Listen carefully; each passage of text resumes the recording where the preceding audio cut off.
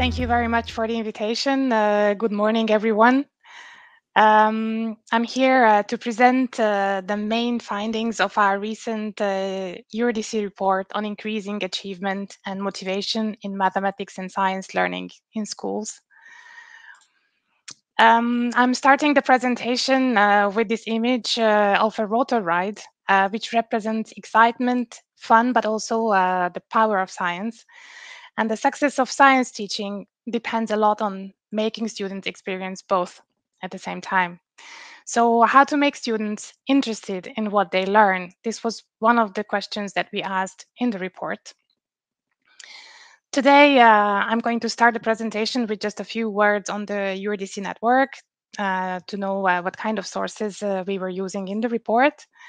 Then I will go on with a few facts about science and math achievement across Europe um, what can be done to improve achievement and how to increase student interest. So let's uh, take these in turn. So the Eurydice network is a knowledge provider network of uh, in, in of 37 countries and 39 education systems.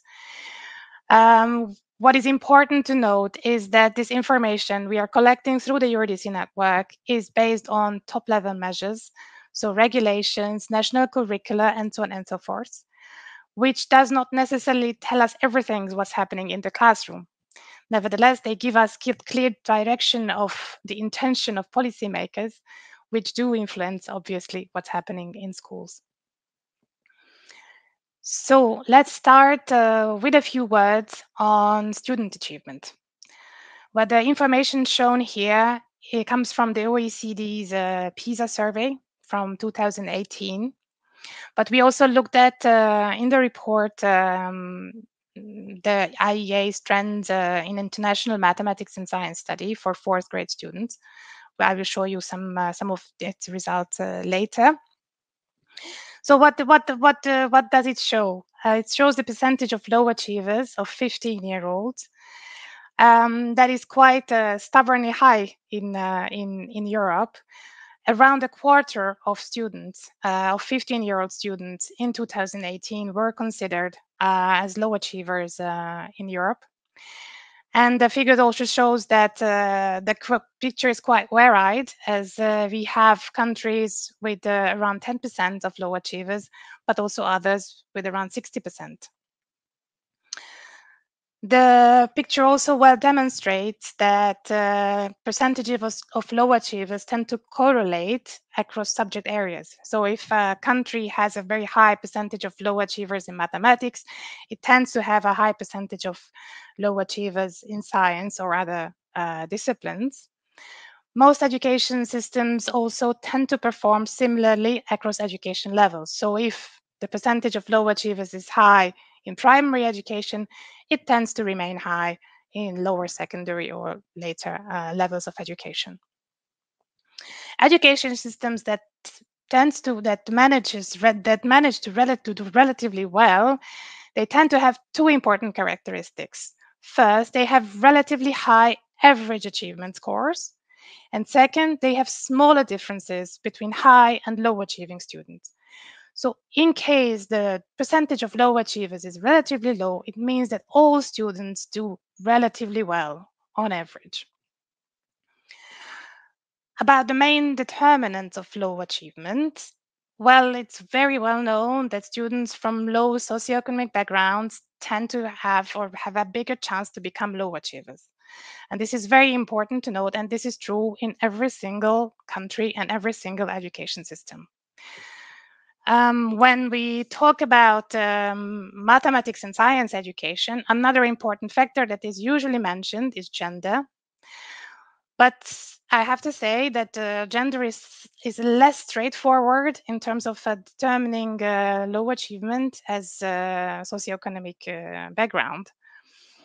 This uh, first map shows the gender differences in the percentage of low achievers among fourth graders in mathematics based on the TIMSS 2019 survey. As the figure shows, in most countries, the gender differences are not significant at all. Um, but there, there's virtually no difference in, in terms of uh, science achievement. But there are 12 countries where there is a higher share of low achievers among girls than among boys. So this might suggest that girls have a slight disadvantage in mathematics in primary education. And uh, interestingly, almost all educations with significant gender differences also have relatively high overall levels of low achievement. But this slight female disadvantage completely disappears uh, by the time the children reach age 15, so secondary education. In secondary education, um, among 15 year olds, percentage of, of low achievers in uh, mathematics are largely similar among girls and boys, but the significant difference is only in uh, seven education system. And these differences actually show that boys tend to be uh, more um, prone to uh, becoming uh, low achievers. And the same is uh, true for science in a slightly more number of countries. So um, this, uh, by the time uh, of age 15, there is certainly uh, um, a, fail, a female advantage and that there are fewer girls who are low achievers. So what can be done to improve achievement?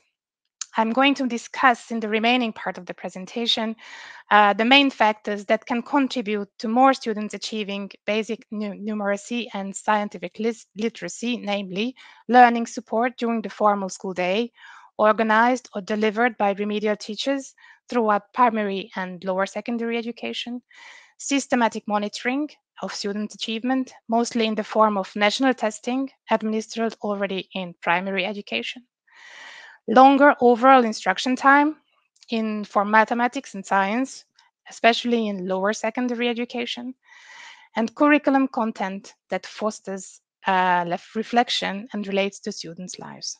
So let's take these factors in turn. First, learning support. So um, here we are looking at, again, as I said, the top level regulations on what schools should do uh, to, to support learners who have difficulties. Top level authorities oblige schools to provide learning support for low achieving students in the large majority of education systems, but only about one quarter of them provide a very detailed framework to be strictly implemented by schools. Oh, I see a slides uh, show some uh, strange letters there, but please ignore them. So um, one but one main distinction um, when we talk about learning support is whether the support uh, should take place during or after the school day. And this is specified by top level authorities uh, in the majority of education systems. The most common way of supporting students uh, is through one-to-one or small group tutoring.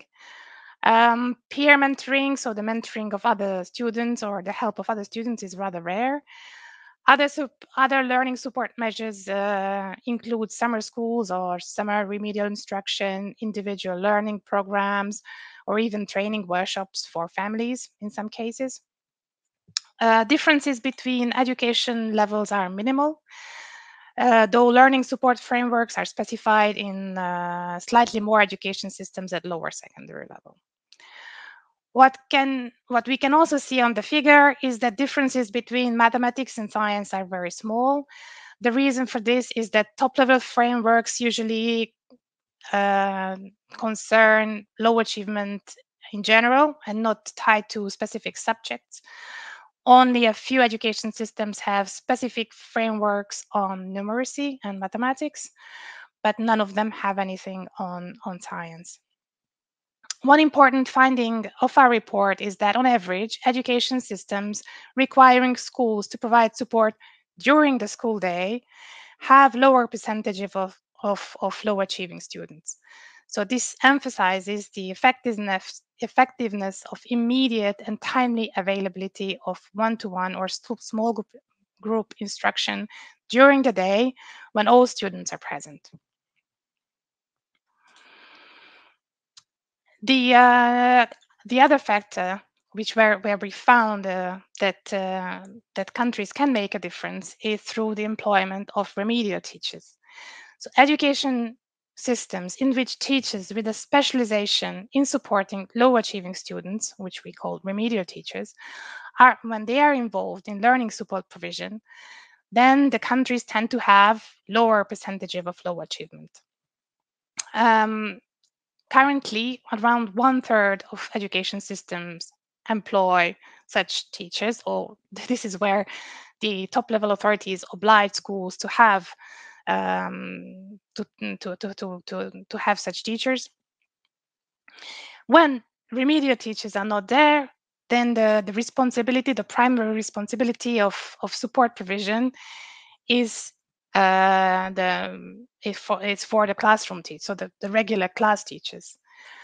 However, it's important to highlight that in the large, large majority of countries, there are shortages of mathematics and science teachers, which obviously have consequences not only on how low achievement, low achieving students can be supported, but how teaching can be provided in general.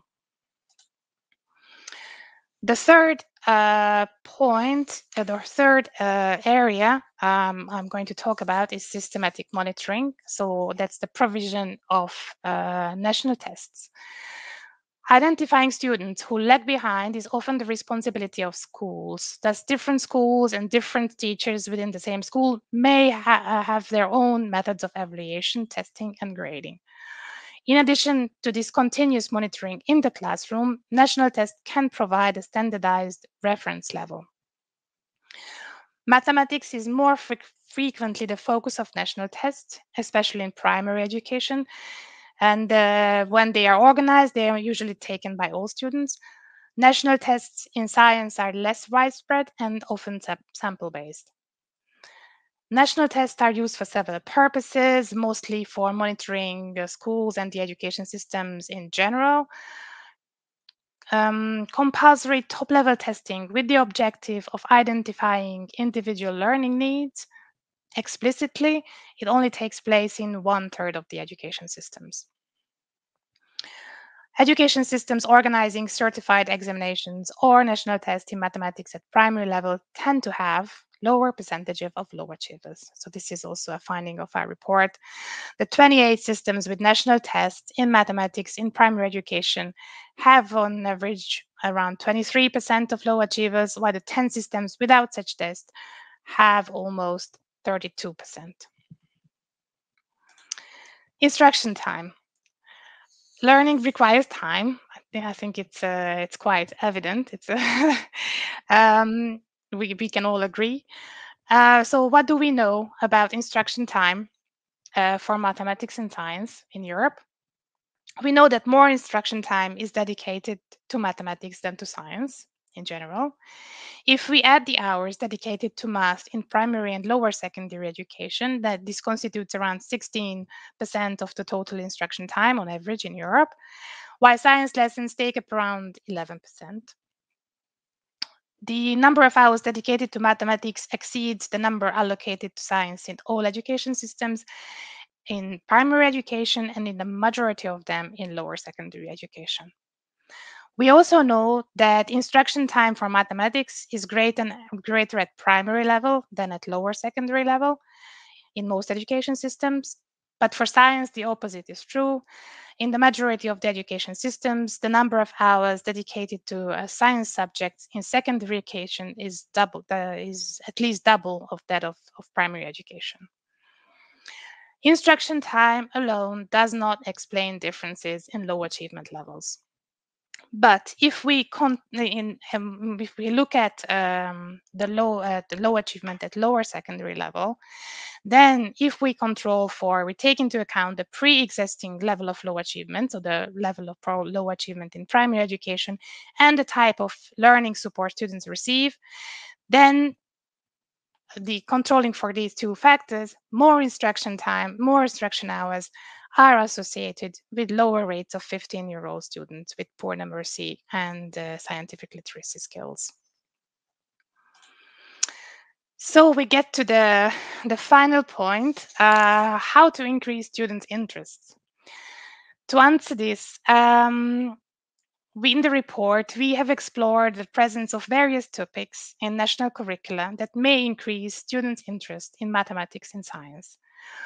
Of course, curricula do not tell us exactly, as I said, what happens in the classroom.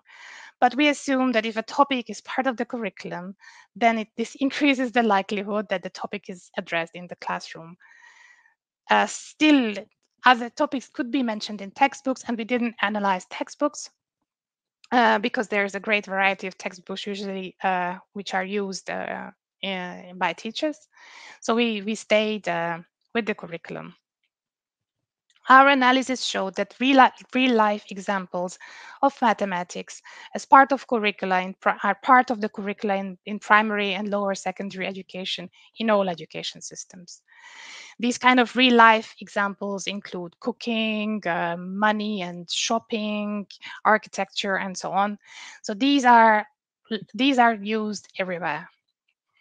On the other hand, context-based science teaching through the history of science or through the inclusion of ethical questions or socio-scientific issues, it's much less common.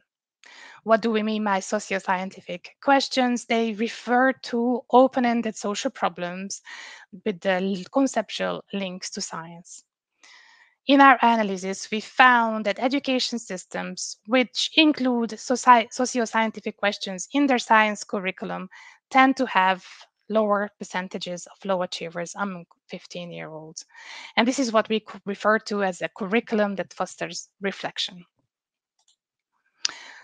This slide illustrates the kind of socio-scientific questions uh, that we addressed uh, during the curriculum analysis. As you can see, um, science and ethics issues are not very commonly addressed uh, in the 39 education systems uh, we analyzed. This figure um, is actually taking into account uh, mostly lower secondary education or grades five to eight. Um, while, while references are there in, the for around half of the countries, concrete issues such as uh, ethical considerations in animal testing, they are rather rare. And this map uh, of Europe shows which countries include such uh, science and ethics questions in their curricula during the first eight grades of school. Uh, in order to show the relationship with science achievement, countries that have fewer than 20% of low achievers in science are marked in diagonal. And uh, on the right-hand side, you can see the average proportion of, of low achievers in countries with and without uh, socio-scientific questions in their curriculum. And the differences between uh, the two proportions is significant. So uh, this was largely my presentation. Uh, to conclude, um, what works is to catch those uh, falling behind early and help them up, give extra support during school hours, train specialist teachers, provide time to learn, and engage students to reflect. Thank you for your attention. If you are interested, uh, you can have a look uh, in our of our reports. They are freely uh, downloadable from our website.